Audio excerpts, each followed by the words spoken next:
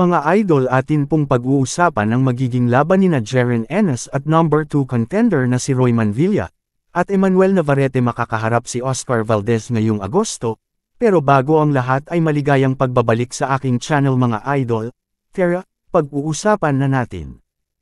Idedepensa ni Jaren Boots Ennis ang kanyang interim IBF welterweight title laban sa number 2 na si Roy Manvilla sa headliner sa ikawalo ng Hulyo sa Showtime. Si Ennis na may record na 30 wins no losses and 27 wins by knockout ay nananatiling abala habang naghihintay ng kanyang pagkakataong lumaban para sa IBF 147 belt.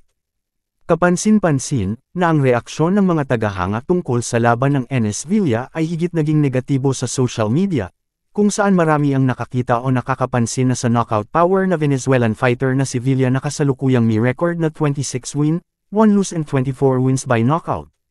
Nagkamali ang management ni Boots sa pagpili kay Chuck Hodgson bilang kanyang kalaban dahil nasa survival mode siya buong gabi. Ipinakita nga ni Enes na kaya niyang harapin ang isang runner, ngunit hindi siya kahanga-hanga sa paggawa nito. Inilantad ni Chuck Hodgson ang kawalan ng kakayahan ni Boots na sumabay sa ibang estilo, at maghagis ng mga body shot, na siyang kailangan niya para magmukhang kahanga-hanga sa laban na yon.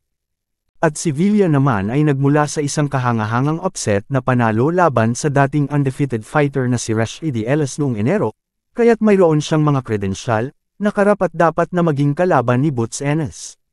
Maaaring hindi isipin ng mga casual na tagahanga ng boxing, na si Villa ay karapat-dapat na labanan ni Boots dahil si Villa ay hindi kilalang oposisyon na taga-Colombia, at hindi pa siya nakita o narinig ng mga tagahanga sa US. Sinisikap ni Boots Ennis na makakuha ng title shot laban sa welterweight champion na sina Errol Spence Jr. at Terence Crawford. Ang dalawang iyon ay dalawang beses na maglalaban sa taong ito, at pareho silang inaasahang aabot sa 154 sa taong 2024, pagkatapos tapusin ang kanilang tunggalian, at sa pangalawang istorya ay ating pag-uusapan ang magiging laban ni Navarrete at Valdez.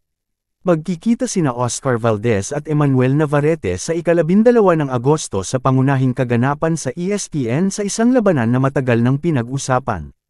Ito ay isang 50-50 toss-up na maaaring bumagsak ang sinuman sa kanila dahil parehas silang knockout power. Dapat silang lumaban noong nakaraang taon, ngunit nagkaroon ng injury si Valdez kaya hindi naganap ang laban. Sa halip, nilabanan ni Valdez si Shakur Stevenson at natalo sa isang panig na desisyon, at si Navarrete naman ay tinalo si Liam Wilson at nakuha ang WBO title belt.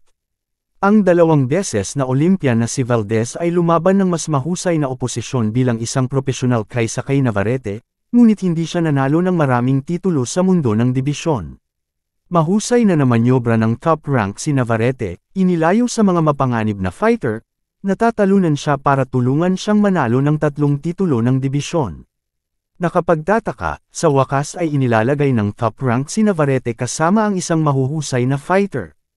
Napagtanto nila pagkatapos ng kanyang huling laban kay Liam Wilson na si Navarrete ay tapos na, at kung hindi nila labanan si Valdez, ay mawawala ang kanyang titulo sa WBO laban sa isang fighter na nais ng mga boxing fans na matuloy ang kanilang sagupaan.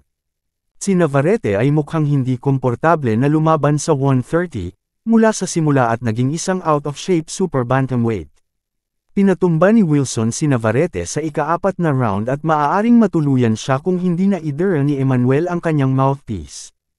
Ang mas maraming karanasan ng mga referee ay hindi humihinto sa pagkilos kapag ang isang manlalaban ay nagluwa ng kanilang bibig sa sandaling sila ay nasaktan dahil ito ay isang panlilinlang na ginagamit upang bigyan sila ng oras upang makabawi.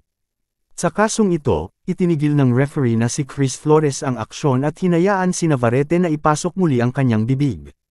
Kung ganoon din ang performance ni Navarrete ay itutumba siya ni Valdez, at hindi mahalaga kung ilang beses niyang iluwa ang kanyang bibig.